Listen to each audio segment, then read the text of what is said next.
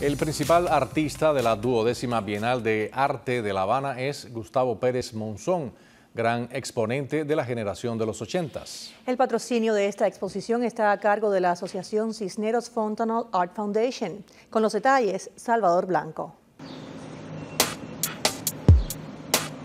El Museo Nacional de Bellas Artes de La Habana abre sus puertas a una exposición antológica de la obra de Gustavo Pérez Monzón.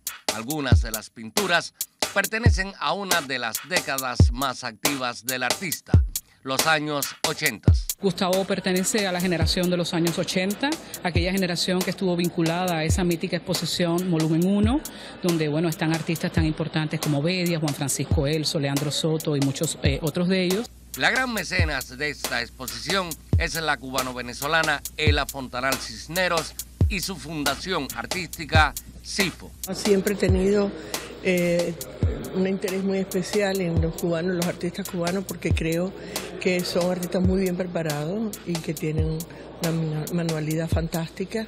La prestigiosa coleccionista Fontanal Cisneros pertenece al grupo de cubanos exilados que consideran el embargo como una ley que no ha logrado un cambio desde el punto de vista político ni del económico. Que haya esta apertura, que podamos hablarnos los hombres, no importa las fronteras y dónde estemos, unos de un lado, otros de otro, magnífico. Eso también le, dará a Cuba y a los cubanos una oportunidad de ver un poquito más allá del horizonte que han tenido hasta ahora. Ella viaja y reside temporalmente en La Habana donde se dedica a preservar el acervo cultural cubano, como es el caso de la compra del importante archivo sobre arte, iniciado por el investigador José Veiga Zamora en 1969.